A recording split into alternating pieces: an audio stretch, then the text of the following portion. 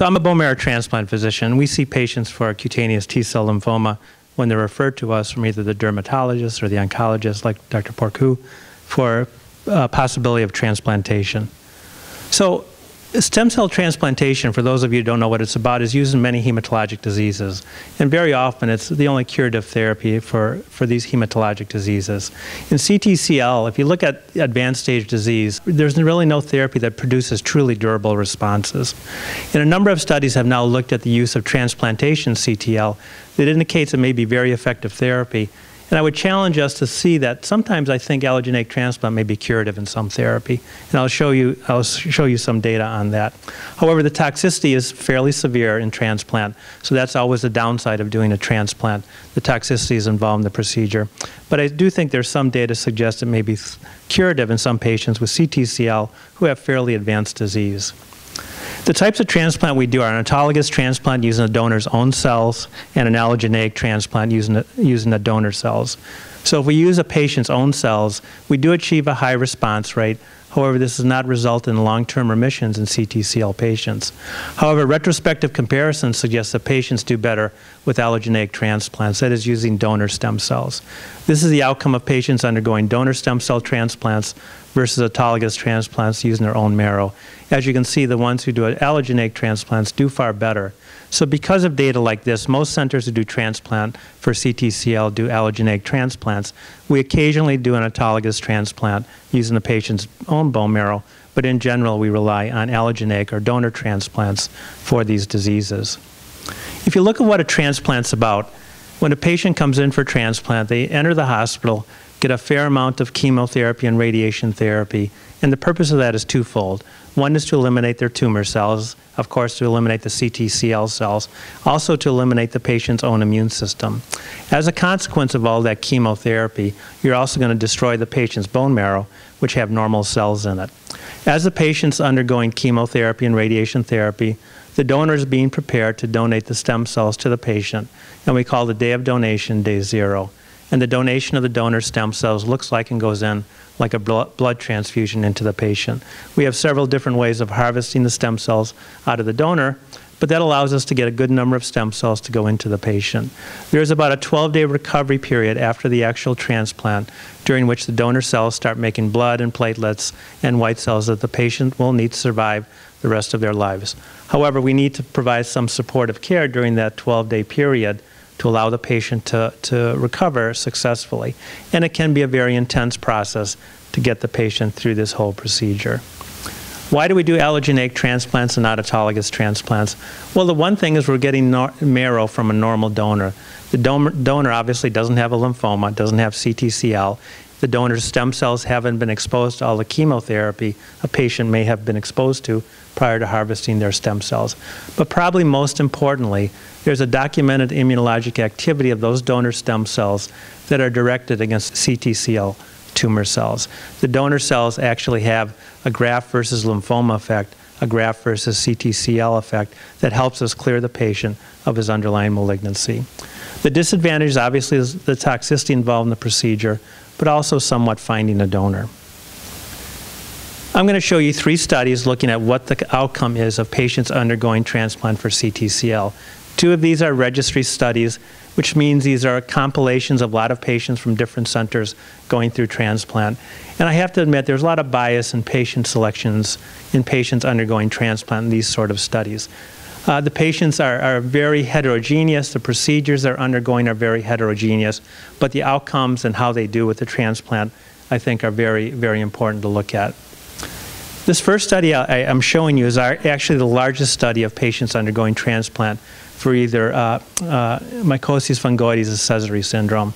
It's from the CIBMTR registry. That's our U.S. registry of collecting patient outcomes of patients undergoing transplant in the U.S. It was 129 patients who were transplanted between 2000 and 2009. As I mentioned, these patients receive a variety of treatments, a variety of supportive care measures to get them through the transplant. If you look at what the patients are who, who went to transplant, uh, there are two types of transplants used, and we don't have to go into the detail. The patients uh, underwent a reduced intensity transplant and a full intensity transplant, about 83 of them. The age of the patients The median age was 51 in one trial, 44 in the other trial, but they've transplanted patients up to the age of 72 using donors, either sibling donors or unrelated donors. Just some more things we should look at. They really didn't stage these patients. We normally stage CTCL patients, so it's a bit hard to say what prior therapy they had or what disease they had going into transplant. But we do know what the time from diagnosis to transplant was, and that was about 36 months in one group of patients and about 20 months in the second group of patients. But the range may be as, high as, high as 206 months. So some of these patients had their CTCL for over 10 to 15 years before undergoing transplant. So here are the outcomes, and if you remember what Dr. Porcu was telling us about survival curves. I'm going to be showing you some survival curves uh, for the outcome. These are the patients transplanted, and this is their overall survival. So after five years, about 35% of them are still alive. And this is the amount of patients who died from transplant-related complications. So it's a fairly high transplant-related complication mortality rate, approximately 20%. So most of our studies doing transplant, within the first year of undergoing transplant, approximately 20% of our patients die with some of the toxicities of the transplant. So it is a difficult procedure to get through. This next slide is what we call progression-free survival. And this is an important slide because this is following patients in the long term. And our progression-free survival in this study was 17% at, at five years. And if remember when we talked about uh, survival curves, if you have a plateau on this survival curve, which lasts a number of years, there's a suggestion in studies like this that this is curative therapy for at least 17% of these patients. So perhaps has the potential for curing a number of patients with very advanced disease. There was no difference in progression-free survival based on the interval from diagnosis to transplant. So patients who are transplanted in the first year of diagnosis did about the same as patients who are transplanted after three years of undergoing therapy for CTCL. The relapse rate is fairly high. A number of patients obviously relapse with their underlying disease, 50% at one year and 61% at five years. Again, I think the importance of studies like these is this plateau on the survival curve, the progression-free survival cur curve, suggesting we are curing some of these patients. The next study I'm going to show you is another study, a registry study from the European Registry Group, a smaller study, but it's important because it's a longer uh, uh, outcome data. So we've seen these patients now for a number of years. Again, a fairly small number of patients, 60 patients, almost evenly divided between MF and Sézary syndrome. The median age is 47. The time from diagnosis to transplant is 37 months. The number of lines of therapy prior to undergoing the transplant is four, with some of the patients having as high as 12 lines of therapy before going to transplant. They describe 67% of their patients as having advanced disease, and that's how they defined advanced disease. 47% were chemorefractory patients. So these are some, some more curves and how they did. So the non-relapse mortality, how many patients died with transplant, is around 20%. Within the first year, again, you see there's a lot of deaths in the first year from, from the transplant-related complications. And this is the relapse rate, about 40 to 50%, very similar to the previous trial I showed you from the CIBMTR. Now this is the survival rate and the relapse-free survival. Uh, this is with a median follow-up of about three years. These patients seem to be doing fairly well, with about a 30 to 40% relapse-free survival rate, even a little bit higher, suggesting with the plateau that these patients may be cured of their underlying disease. Now, they did a follow-up study with more follow-up. This is a median follow-up now of seven years. The disease-free survival is about 30% now at seven years. So these are the patients who've all, who are alive without the disease. Now some of them out eight, over eight or nine years post-transplant with no evidence of their disease coming back. The relapse rate was 45%, similar to the previous study I showed you. What's interesting, though, is 27 patients relapsed a median of 3.8 years post-transplant, and eight of them now remain alive, a median of eight years post-transplant, using immunologic therapies to accelerate some anti-tumor effect of their donor cells. So we can salvage some of the patients who even relapse after a transplant with some additional immunologic therapy.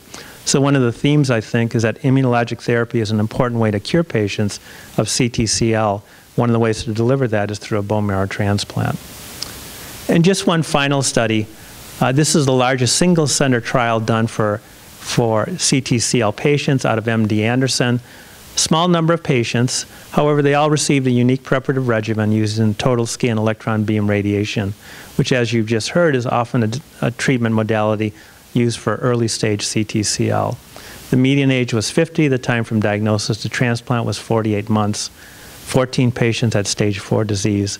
So we don't have long term follow up, but at two years, the overall survival was 79%, progression free survival was 53%. They haven't updated the data on the study, but it'd be interesting to see how these patients do in the long term. So just in general, have we improved the outcomes of transplantation? Is it easier for our patients to go through transplant? It's a bit difficult to show that for CTCL patients because there's not enough patients who've undergone transplant for CTCL. However, I can show you in other diseases we have improved the outcome. And let me just show you some of the studies. What this showed is that is the uh, outcome of unrelated transplants, which are, are more difficult transplant over time. And this is a one-year survival. In the early and late 1990s, the one-year survival was 40%. Right now, the one-year survival is 60%. So in 20 years, we've increased the survival by 20% of patients going un, undergoing unrelated transplants, our most difficult transplant. One of the reasons we're doing this is shown here in data from Fred Hutchinson Cancer Center, and this is the mortality of transplant in patients in the early years of transplants compared to more recent years of transplant. We've decreased the mortality, the early mortality, by day 100 to 200 by at least 50%. So we're doing a much better job of decreasing some of the toxicities of the transplant. And that's due to improvements in supportive care. We have better HLA typing. We have less severe graft versus host disease. We're using reduced intensity transplants, all of which is improving the outcome of our patients undergoing transplant. I think the real difficult question is what's the timing for transplantation of patients with CTCL? There are truly no formal recommendations as to when to proceed to transplant. This is a very indolent disease. Patients can live with this disease for 20, 30, and 40 years. We're not going to be transplanting patients with that type of disease. What we are transplanting are patients with very aggressive disease, high stage disease, and disease that's not responding well to conventional therapy for CTCL. If you look at all of some of the studies, uh, the patients moving to transplant generally have advanced stage disease, stage three or four. They have some evidence of some large cell transformation. They've had the disease for three to five years and at least failed four lines of therapy. If we look at some of the other indolent diseases we transplant, such as follicular lymphoma, MDS, which sometimes can have a very chronic disease status, when, when, when their physicians tell them that with best treatment available, your overall survival is less than three to four years, that's when transplant can be considered or should be considered. So if we use that example for CTCL, once your median survival is down to three or four years, that's probably the time you start thinking about transplant to try to give you a better chance of longer term survival. Just in terms of the age of patients we undergo transplant with, we transplant patients now routinely up to the age of 75 if they're fit patients. So if they have good lungs, good heart, good liver, we can transplant them. Certainly there are some patients who are 50 we can't transplant because they're in poor shape, but generally a patient 75 year old who is in good shape can do as well as a patient who's 50 years old. Obviously this is important in a disease like CTCL where the median age is 60 to 70 years of age in patients who get this disease. Although donors is a problem, our donor pool now includes siblings, unrelated donors, cord blood, and actually haploidentical transplants can be used for this disease. So we think we've overcome some of the donor issues for transplantation. So just in summary, I, I think stem cell transplantation is an important treatment modality in CTCL. There are a small percentage of patients with very advanced disease who failed a lot of therapy who probably should be considered for transplant. I think the evidence that we have patients now eight and nine years post-transplant without relapse suggests we are cu curing a few number of these patients. And I think this cure is coming through an immunologic activity of the donor cells against the patient's own tumor cells.